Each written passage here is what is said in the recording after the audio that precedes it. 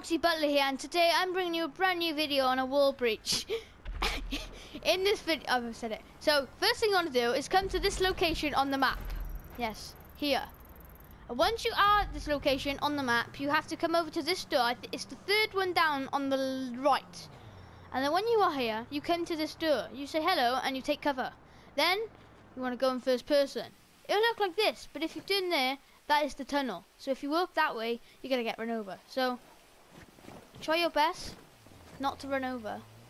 And you've got to stay in first person, because if you don't, it don't work. And it, for some reason, I can't move because is in my way. Right. Okay, so this is the glitch under the map. I hope you enjoy it. If you did, please like. If you did not, please don't. I mean, please like. Without further ado, goodbye.